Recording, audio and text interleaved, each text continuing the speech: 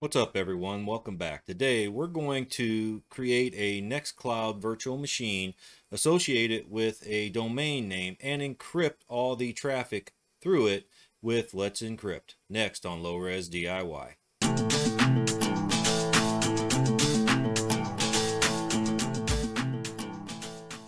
So why Nextcloud? Well, one of the reasons is because I'm just a cheap SOB. That's all there is to it. I don't want to have to go to Google Share or to Microsoft OneDrive, start saving things up in the cloud, and then find out, hey, I'm getting ready to overextend this, but they're going to come back at me and say, but hey, we got you, Jason. We got you. Here, for just this much money a month, we'll give you another gig of hard drive space or something like that.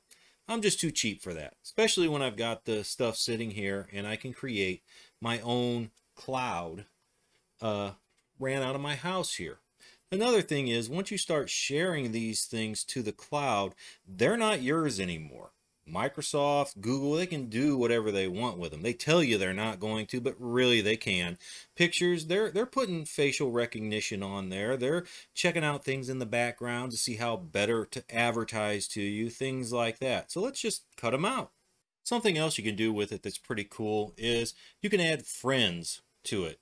And with that, capability, you can make virtual calls with them, you can send instant messages to them, you can share files with them, things like that.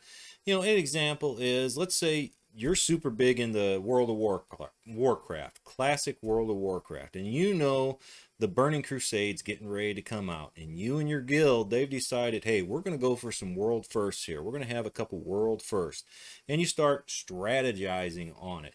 Well, this just gives you a, a quicker connection to your your guild members and keeps your strategies and thoughts just between your group. It's not being advertised all over wherever, you know, places where people can can easily find out what you guys are talking about because that's that's some highly sensitive information right there. Really, do you want to risk a world first just because you were too lazy to set up a Nextcloud server?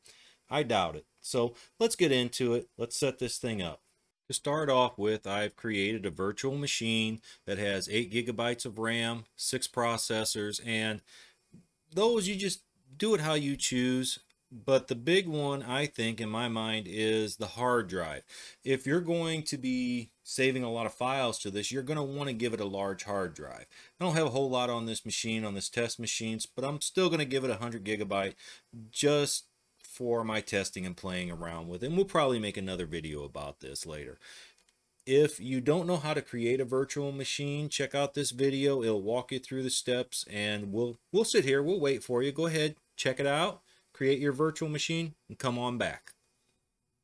So once you've got it created, uh, start it up and you can log into it and do it through this and if you want, but with virtual machines and Proxmox, you can't cut and paste like we do with containers. You have to type everything out.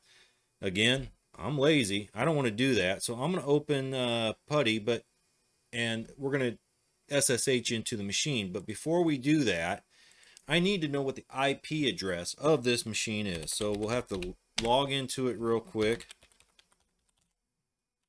And let's do a ifconfig. And right here it says that the IP address is 192.168.1.219. So let's go ahead and close this window. Let's go ahead and open PuTTY and enter that IP address. Make sure we put it in right. It's going to throw a warning up because I haven't logged into this uh, machine yet. And let's log back into it again. All right, so now we're SSH'd into that virtual machine. And I'm just going to pull the instructions up over here on the side.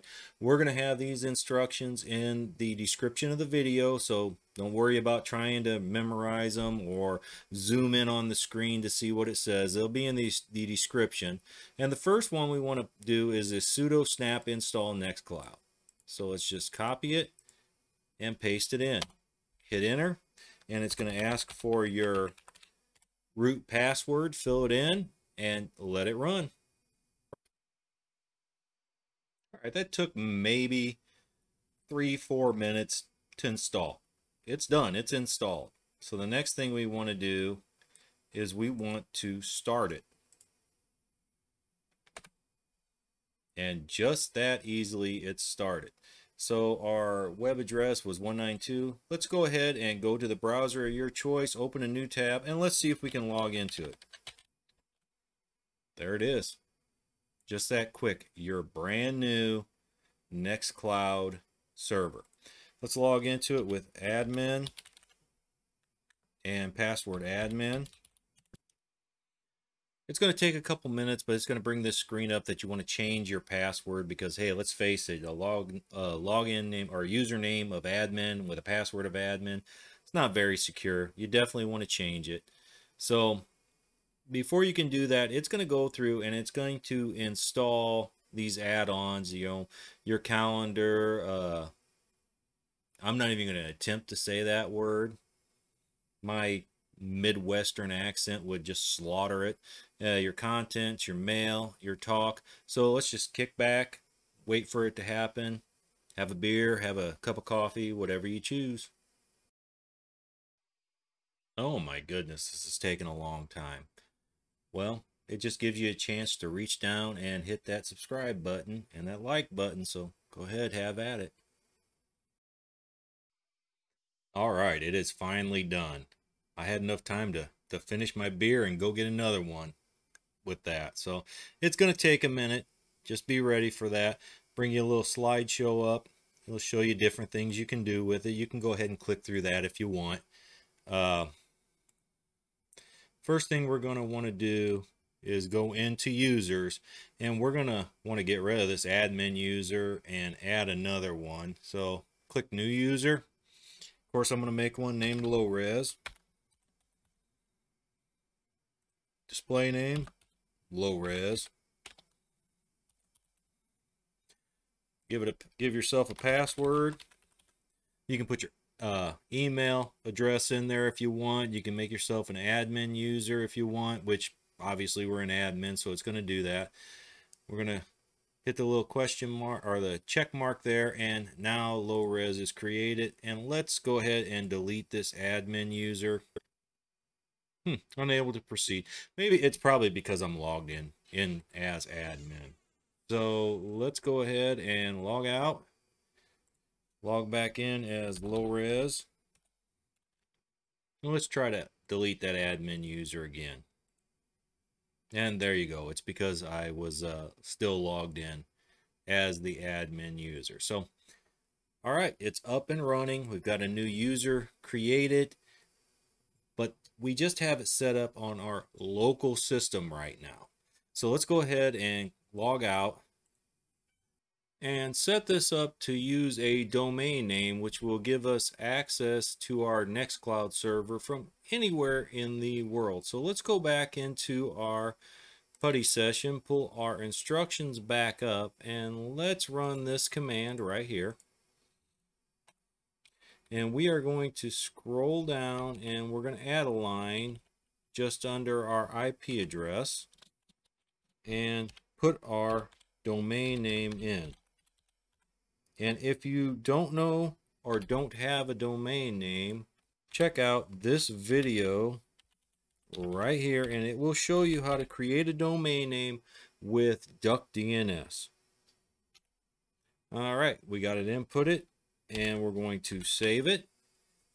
And let's see if we can log into it right away or if we have to reboot the virtual machine. So http colon slash slash low res test one dot duck dns.org. So now we have access to it from anywhere in the world, but you're going to notice that it's not secured which means all your traffic is is it isn't encrypted. So anybody that would be snooping around and would get that information they would get your username your password whatever they wanted. It's just going to be in plain text form. So let's go back into our PuTTY session into our instructions. Let's grab this command right here and set let's encrypt up paste it in. It is going to ask you uh, if you have the set requirements. You're going to say yes. It's going to ask for your email address, and then it's going to ask for the domain name. So low-res test one.duckdns.org.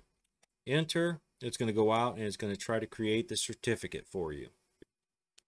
All right, it looks like uh, it worked. So let's go ahead and go back and change this guy out to https colon hack hack low res test one dot org.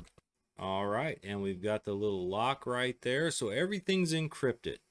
We can go ahead and log back in, set up, ready to go, save the password if you want, and we're encrypted. So we're, we're safer than we were before. All right, Nextcloud is set up. We have a new username as the administrator. We've got a domain name, domain name associated with it so that your guild members or whoever you want to give that to can log into it. Uh, not that quick. We got to go through and set up a group and uh, users and everything and invite people and stuff like that. And that'll be in the next video. So if you're interested in that, go ahead, hit that subscribe button. And if you like this video, hit the, the like button also. One more thing is this stuff is free. So a lot of it is uh, ran on donations. And I forgot to mention it in the Duck DNS video that if you are going to use it quite a bit and you like it, it's free, go ahead throw a couple bucks at them you know? One or two dollars might make a big difference. Keep it up and running. So until next time thanks for watching